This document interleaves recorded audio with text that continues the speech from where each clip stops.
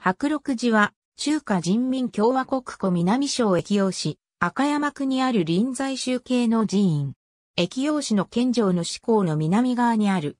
白六寺は、唐の元7年間に建てられました。真の皆、豊か8年の太平天国の乱の河南で、寺は全焼した。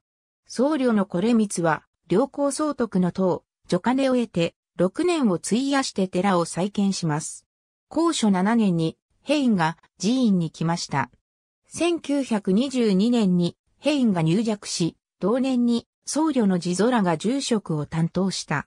その後、職名、広志徹、ガン、治、帰国、仏元が相次いで住職した。1943年、広志徹らは中国仏教庫南省文化駅要研士会を設立し、寺院の中で駅用仏教講習所を創立しました。1949年、中華人民共和国が成立し、帰国、仏元が寺院の僧侶を率いて工場を開設しました。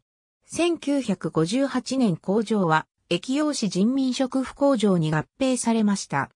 1966年、毛沢東が文化大革命を発動し、寺院の宗教活動は中止に追い込まれた。大橋の建立で寺が取り壊された。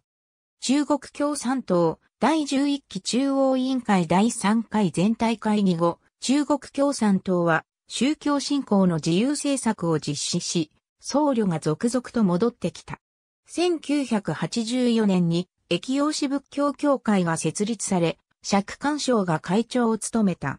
駅陽市人民政府は、東林山を選んで僧侶に、白六寺を建立し、駅陽市人民政府は、仏言を招いて主催します。1990年秋に、太陽法殿が完成し、仏像が開け光しました。中国仏教協会の張白木書会長が寺名を書きました。白六寺は正式に対外開放されました。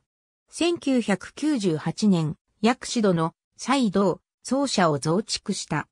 1999年旧暦9月30日、薬師殿仏像の開眼式が行われた。その後、仏元は600万元の人民元を募集し、殿堂を建て、2003年に竣工しました。三門、太陽法殿、玉仏堂、薬師殿、観音殿、祖師殿、南岳殿、九徳殿、増教殿、主楼、空楼、念仏堂、客堂、祭堂、北条楼、前室、両房、流通どころ、回廊。民のラジオ校の死に曰く、ありがとうございます。